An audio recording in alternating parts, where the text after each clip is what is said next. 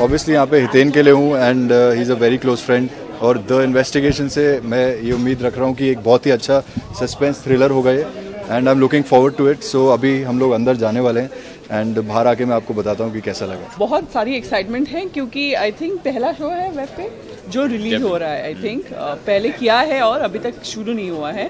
तो uh, ये पहले किया था और पहले रिलीज़ हो रहा है। तो वेरी एक्साइटेड और both of us very excited बहुत अच्छे कॉन्सेप्ट्स होते हैं जो प्रॉबेबली हमारे डिजिटल प्लेटफॉर्म के लिए है, खास मतलब पीपल विल वॉच इट जो ऑन द गो वॉच कर सकते हैं। डिजिटल मतलब क्या है? आप गाड़ी में बैठे आपने फ़ोन पे स्टार्ट कर दिया हेडफोन लगाया ट्रेन में पता है सफ़र करते दोनों टाइप का सफ़र। तो ये लगाएँगे तो वो सफ़र थोड़ा कम होता है।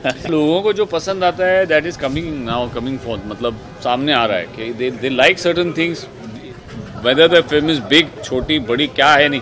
अगर कॉन्सेप्ट अच्छा लगा और performance it is basically content driven जिसमें कंटेंट अच्छा है चाहे वो फ़िल्म हो या सीरीज़ हो या टीवी शो हो तो लोग वो ज़्यादा देखना पसंद करते हैं। बहुत मज़ा आया देखने में। You will love Hiten ji because obviously we all love him it's very obvious बचपन के हम लोग क्या बोलते हैं? हमारे बचपन के फेवरेट है। हाँ। ये सुनने में उनको बिल्कुल अच्छा नहीं लगेगा कि हमारा बचपन मतलब उनका कितना हो गया मतलब सोच सकते हैं आप।